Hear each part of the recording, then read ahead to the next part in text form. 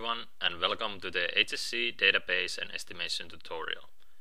In this tutorial we will go through how to use the HSC database, how the databases work and how you can add your own species in the database.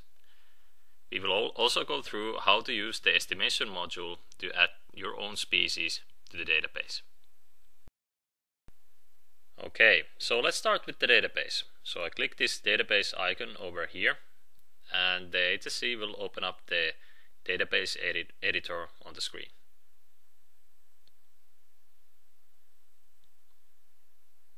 Alright.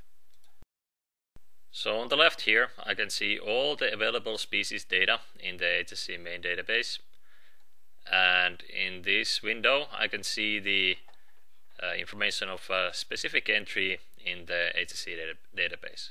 So for example in this case we have selected the actinium and we can see the actinium information over here.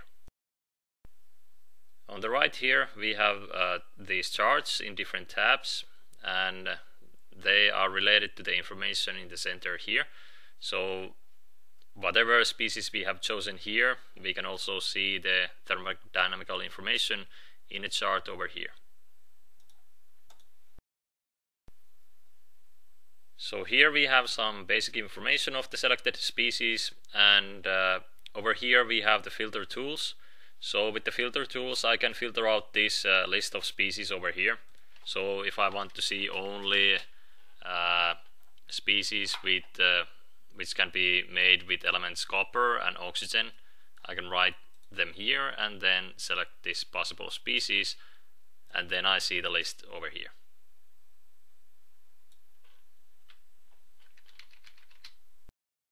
Next, let's go through a little bit uh, about the notations over here. So as you can see, the species, sometimes they have suffix and sometimes they don't have. So if the species doesn't contain suffix, it means that it is a condensed species, which means that it can contain uh, information, uh, both solid and liquid information in the same entry. And if it contains some kind of suffix, for example G, then it contains uh, information of that particular phase. So for example, G refers to the gas phase. Uh, if there is A, it means uh, aqueous phase, so usually as a dissolved ion. Uh, if it contains L or S, those refer to uh, liquid and solid phases.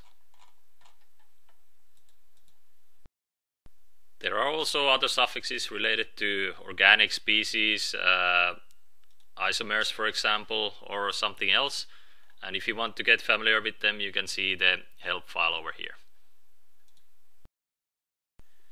Okay, uh, next uh, let's check a few things about the main and own database.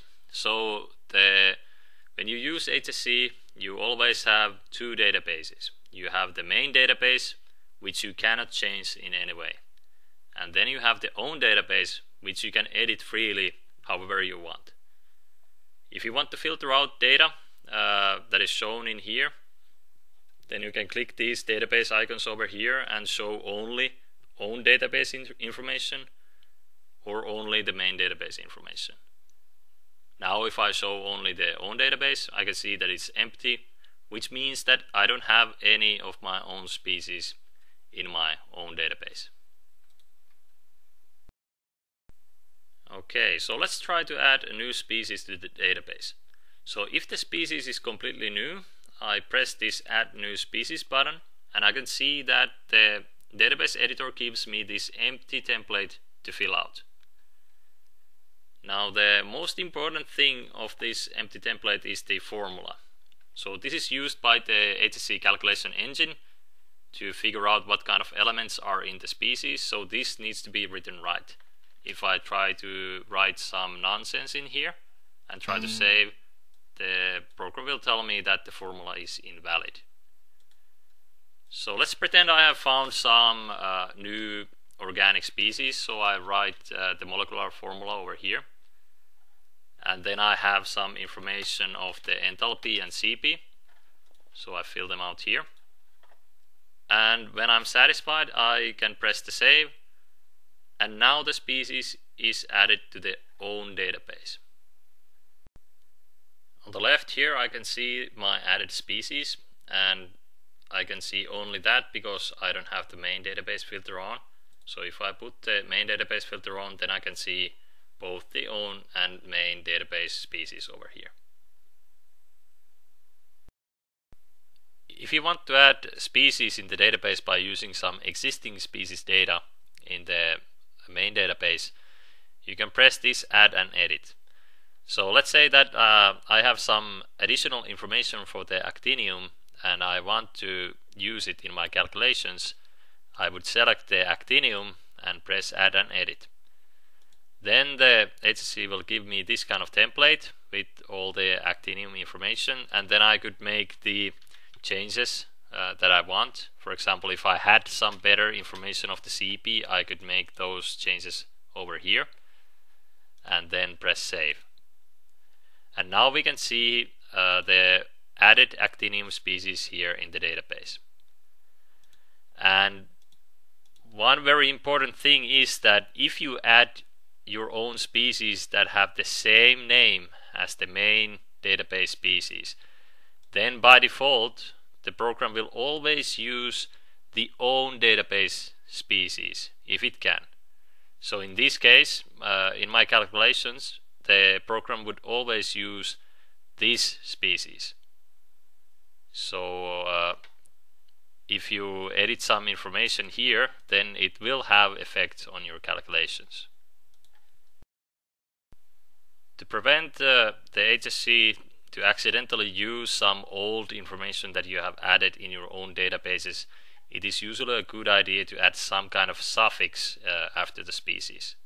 So after the species formula, there can be any kind of uh, additional information inside suffixes. So for example, if I wanted to make it safer to use my own actinium species, I could press this edit and then put in the suffixes my own species. And then save. And now I have that information here. And now if I would uh, want to use this in my own calculations, I would have to use also these suffixes. And if I wanted to use this actinium, I would just write AC. Last thing about the databases. So HSC always uses by default the latest main database in the calculations. If you want to use some other main database version, you can press this change main database version to change it.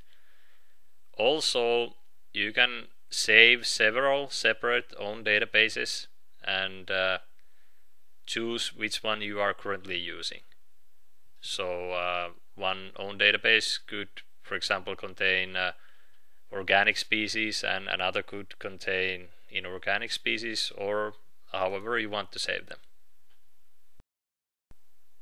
In the database editor we also have this fit CP data editor over there. So if I want to edit the CP data uh, more precisely then I can use this fit CP data over here and it will open up this uh, CP fit module for me and then I can insert some temperature and CP data over here by hand.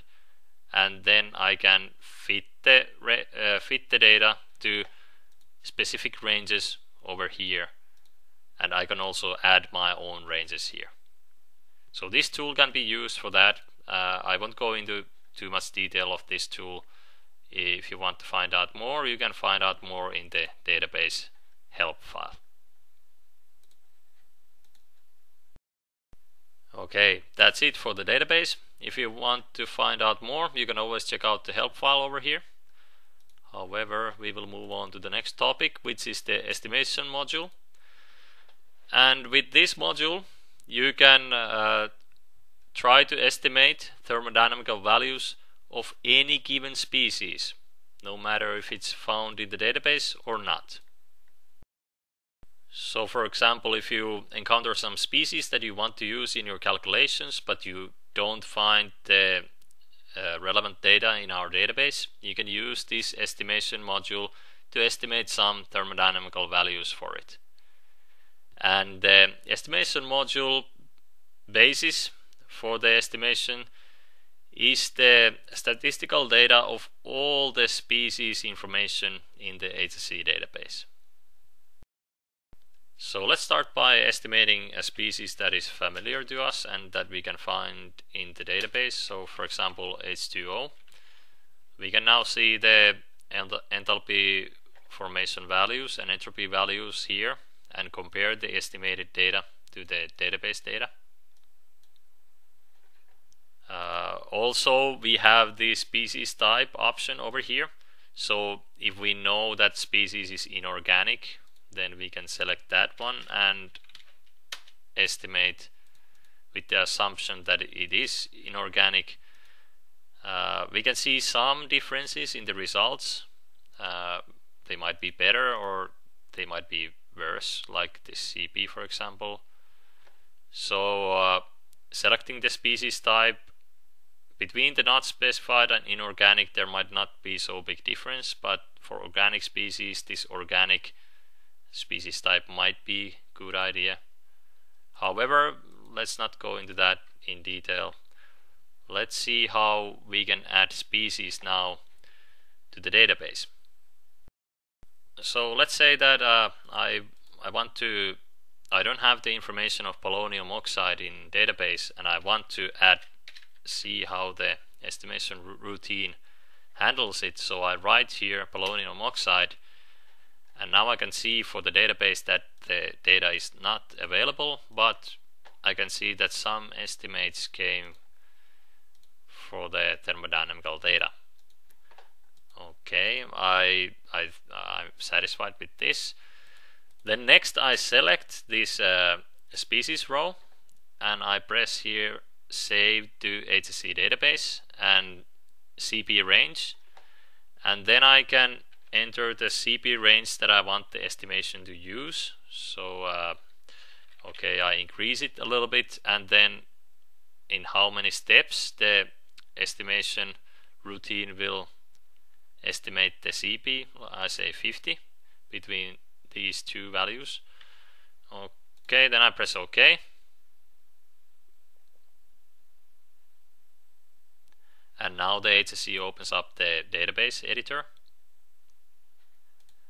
and in the database editor we get this template ready for us. So we have the estimated CP and enthalpy and entropy data over here. I can check here that uh, the data is uh, seems okay. And then I can press save. And now the species is saved to the database.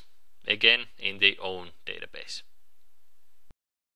So with this estimation module you can quite easily enter uh, new estimated species information to the database and use that then with your own calculations. So if I now go out of here and uh, I want to use my polonium oxide in the calculations I can start for example this reaction equations module and then make here the equation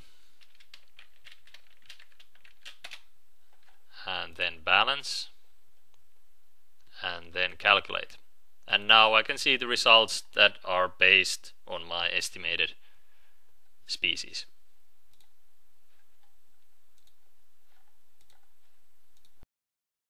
Okay, that's it for the HSC database and estimation tutorial. Now you should be able to uh, handle the databases and also add your own species to the databases with the database editor and also you should be able to use the estimation module to add species to the database. Okay, so that's it. Thank you for watching.